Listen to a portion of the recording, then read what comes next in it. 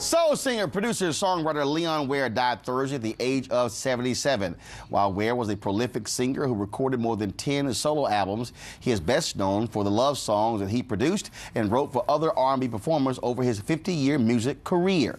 It was Ware's sensual lyrics that defined the sound of Marvin Gaye in 1976 with the song and album I Want You. Ware's vast repertoire of writing credits also include I Want to Be Where You Are, recorded by Michael Jackson, and Something Something by Maxwell.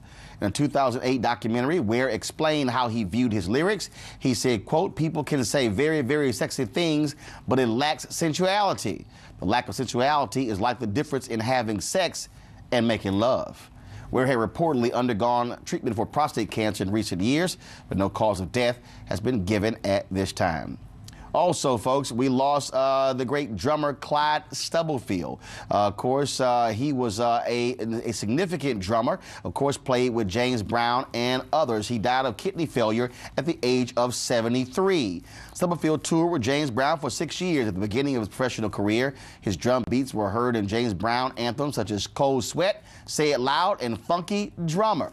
Known as the most sampled drummer in the world, Stubblefield's beats have been heard on thousands of songs, including Public Enemy's Fight the Power, LL Cool J's Mama Said Knock You Out, Boogie Down Productions, South Bronx, and so many others. In later years, the industry began to give Stubblefield his props publicly. In 2011, he performed Fight the Power on The Tonight Show, starring Jimmy Fallon, along with Chuck D and members of The Roots. Questlove of The Roots told the New York Times, quote, they have been faster and they have been stronger, but Clyde Stubblefield has a marksman left hand unlike any drummer in the 20th century. It is he who defined funk music. To celebrate the life of two great legends. A peaceful protest turned deadly. 37-year-old black man was shot and killed by Baton Rouge police. His hands are in the air and you still get shot by the cops. Oh my God, please don't tell me he's dead. We're not going to let hate define us.